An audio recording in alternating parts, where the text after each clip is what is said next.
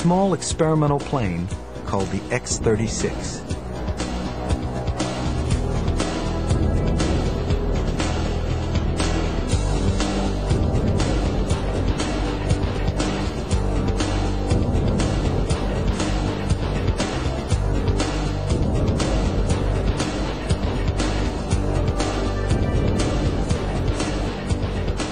At first glance, the X-36 looks like the canceled Joint Strike Fighter, but actually, it's even less conventional.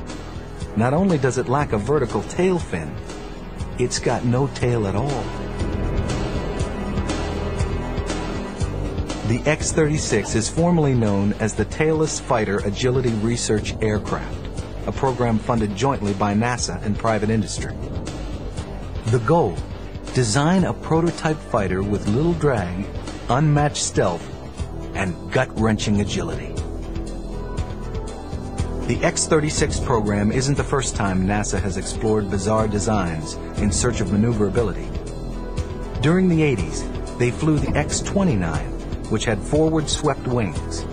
The idea is simple. Make a fighter inherently unstable, and it will be able to move in ways nothing else can.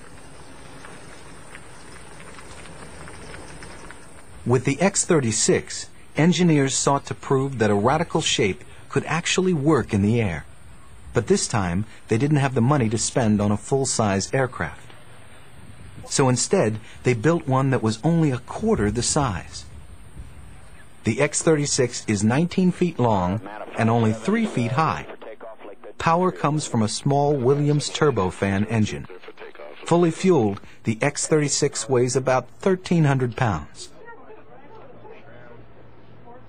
The X-36 won't have a pilot, at least in the conventional sense. It's flown from a virtual cockpit back on the ground.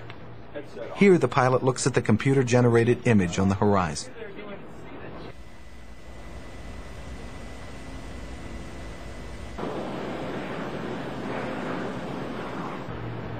On May 21, 1997, the X-36 took off from Rogers Dry Lake at Edwards Air Force Base, California. As the X-36 broke ground, NASA engineers knew they had a controllable plane. From his virtual cockpit, NASA pilot Larry Walker took the X-36 up to almost 5,000 feet. The plane handled so well, he decided to try out a couple of rolls.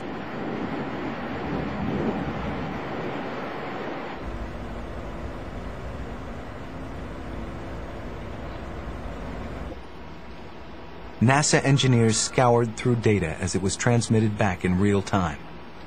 From his virtual cockpit, Walker again pulled up the nose and carried out a quick roll.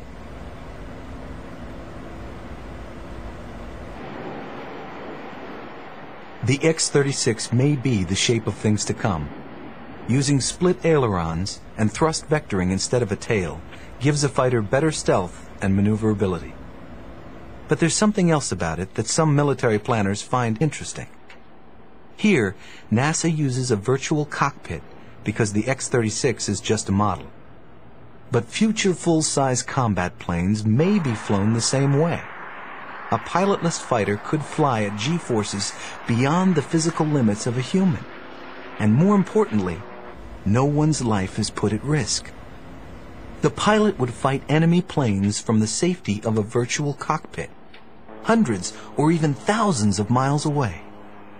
The idea is controversial, but as technological barriers continue to fall, the only thing standing in the way of the pilotless fighter may be the pilots themselves.